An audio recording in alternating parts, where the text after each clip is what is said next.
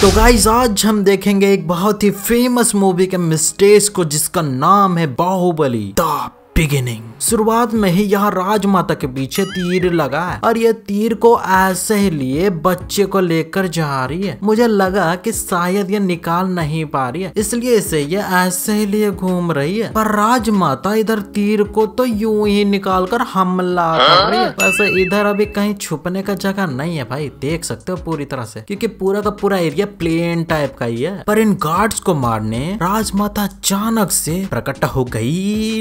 इधर पानी में राजमाता बच्चे को ऊपर करके हाथ में पकड़कर उठाए हैं, जहाँ भी झरने का पानी राजमाता के सीने तक ही आ रहा है। पर अगले ही पल झरने का पानी बढ़ने लगा या फिर राजमाता खुद पानी के अंदर जाने लगी है ये मेरे को नहीं पता। पर राजमाता पानी के अंदर जान बुझ कर डूबी है ये मेरे को बाद में पता चला, क्योंकि इस चिरकुट के आने पर पानी इसके कंधे तक ही आ रहा है, जबकि यह पानी में पूरी तरह से खड़ा है, और राजमाता का कॉन्फिडेंस लेवल को तो मानना पड़ेगा। सुबह तक ये ऐसे ही पानी के भीतर ही सांस रोके ही थी। कमाल है भाई। सिवा यहाँ से यहाँ तक आने के लिए खड़े खड़े ही छलांग मारता ओ माय गॉड ऐसे छलांग से इसे इधर कहीं गिरना चाहिए। पर यह स्विंग होता हुआ आगे ही जा रहा है। क्या बात है। यहाँ शिवा को एक मुखौटा मिलता है, जिससे शिवा मिट्टी में एक लड़की के तस्वीर को बनाता है। पर यहाँ सबके मुखौटे तो एक जैसा ही है। तो यहाँ सिर्फ़ शिवा लड़की का ही तस्वीर क्यों बनाया भाई? अगर शिवा लड़की समझकर ऊपर गया रहता और वहाँ उसे एक लड़का मिलकर बोलता, अरे थैंक यू भाई, क्या बात है। मेरा जल पर्वत से ये मुखौटा गिर गया था। थैंक यू भाई थैंक यू रिटर्न करने के लिए। ऐसे में तो यार शिवा जल पर्वत से कूद कर तब तो जान ही दे देता।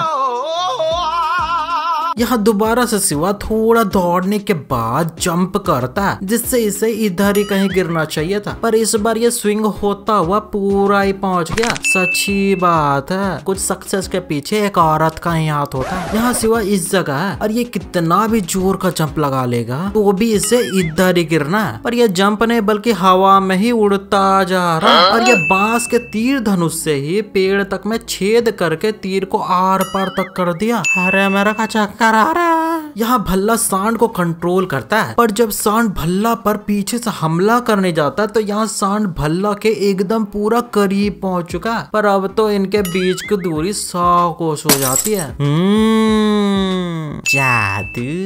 अवंतिका यहाँ शिवा को पकड़ने के लिए अपनी दोस्त का इस्तेमाल करती है। यहाँ बाजू साइड में ड्रेस पानी में भीग जाता है इसलिए इसने इसे खोल दिया। चलो मानता हूँ पर यहाँ तो पजामा भी दूसरा ही है क्योंकि पहले कुछ और था और अब कुछ और है। और इधर शिवा इसके हाथ में आर्ट बना रहा है, पर इसे थोड़ा भी पता ही नहीं चला। अरे, अपन के बदन में चीटी चढ़ जाए तो वो भी मेरे को महसूस हो जाता और यहाँ इसके लिए तो तालियाँ होनी चाहिए। शिवा इधर आग सीखता रहता है, जहाँ अवंतिका जब हमला करती है तो पूरा शाम हुआ पड़ा है। और अब शिवा के गोल गोल घूमते ही शाम से दोपहर ही हो गया। इधर अवंतिका शिवा को देखते हुए बाँध चला रही है, पर अब तो इसे कुछ दिख ही नहीं रहा वाह और जब शिवा भागते रहता है तो अवंतिका पीछे से बाँध चला रही है और शिवा को इसी बीच ट्रैप बिछाने का वक्त तक मिल जाता है। लगता है अवंतिका को इधर भी कुछ दिखाई नहीं दे रहा। शिवा यहाँ अवंतिका के बाजू को जैसे तैसे फाड़ के पजामा को उल्टा करके एक खूबसूरत लड़की बना देता है। पर पजामा का दूसरा साइड भी है ये शिवा को पता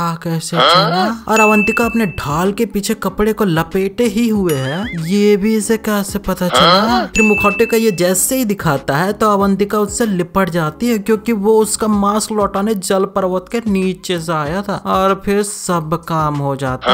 वाह भाई। शिवा पर हमला करते समय यहाँ ये चिरकुट जिनके हाथों में तलवार है, वो शिवा के इस घोड़े के धकेलते समय सब इसके पीछे ही आ जाते हैं। और इतना स्लो स्पीड में तो कोई भी चिरकुट घूम कर आकर शिवा को मार सकता है। पर नहीं। वैसे यहाँ ये घोड़े को शिवा ने, बल्कि ये सब मिलकर ही गिरा रहे हैं। देख रहे हो? घोड़े को तो ये लोग खींच रहे हैं। यहाँ चूतिया तो हमें लोग का कट रहा है। वो भी डायरेक्टली शिवा और अवंतिका इस बर्फीले तूफ़ान से बचने के बाद जब रुकते हैं तो मेरे अंदर इस वक्त बस यही थॉट आ रहा है। अवंतिका शिवा को ढूंढते ढूंढते इतने ऊपर तक चली गई थी। सीरियसली क्योंकि ये सारी चीज़ें अवंतिका और शिवा के मिलने के बाद ही हुआ। शिवा इधर ज़मीन को उखाड़ते हुए एंट्री मारता। really? वो भी घोड़े से।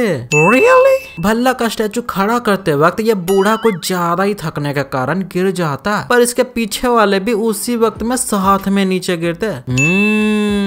जादू। स्टैचू गिरते वक्त जब शिवा रस्सी को पकड़ता है तो इसके अलावा इस रस्सी को कोई नहीं पकड़े। देख रहे हो? पूरा सन्नाटा। पर अब तो ऐसा बिल्कुल भी नहीं है। वैसे इस प्रतिमा का ये बेस सोने का ही है। पर अब इस बेस को तो लकड़ी द्वारा बनाया गया है ऐसा लग रहा है। और अब ये दोबारा से सोने का हो गया। हम्म, जादू।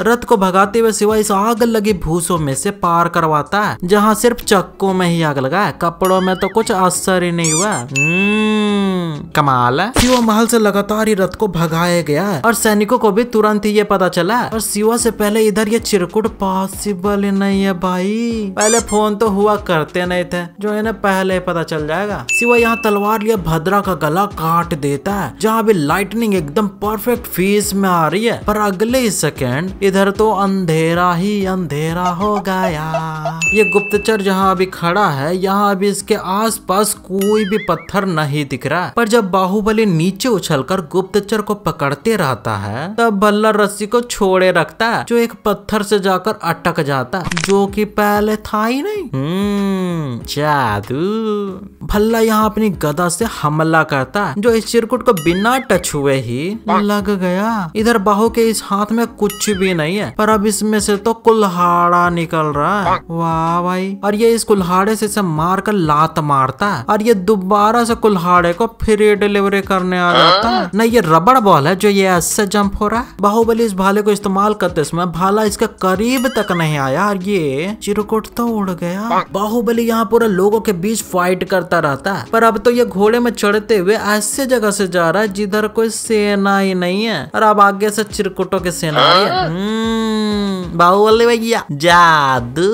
बाहुबली के इशारे से इसके सैनिक सबके पैरों को फंसाकर नीचे गिरा देते हैं। और यहाँ जिनके पैर फंसे भी नहीं है, वो भी ऐसे ही गिरे जा रहे हैं। इन्हें ही देख लो। पूरा चारों तरफ़ युद्ध छिड़ा हुआ है। चारों तरफ़ सिर्फ़ लोग ही लोग हैं। और हमारे बाहुबली भैया पता नहीं कौन से जगह में है जहाँ पूरा सन्नाटा माहौल है। और अब ये लोगों के बीच है। वाह भाई, लगता है यहाँ बाहुबली टेलीपोर्ट हो रहा है। कटप्पा इस चिरकुट के गले में रस्सी बांधकर जब ये ऊपर उछलता है, तब ये चिरकुट ऊपर ही जा रहा है। अरे कटप्पा नीचे आते रहता, तब ऐसा होना चाहिए था। पर। नहीं। इसे तो सिर्फ़ ऊपर ही जाना। ये चुरकुट सब अभी इधर है। और बाहुबली यहाँ ये गोला लेकर फेंकता पर इधर ये गोला आया कहाँ से? इसको थोड़े ना कोई ऐसा ही फेंक कर रखता और जितने भी गोले पहले छोड़े गए थे, इतनी दूर तो एक भी नहीं आया था। भल्लाल को तो यहाँ सिर्फ़ राजा बनने से मतलब था। तो फिर यहाँ ये गुस्से में अपने गधा से इस हाथी को मारने के बजाय डायरेक्ट काल के को ही मार देता। उसका तो सीधा ही काम तमाम रहता। पर नहीं।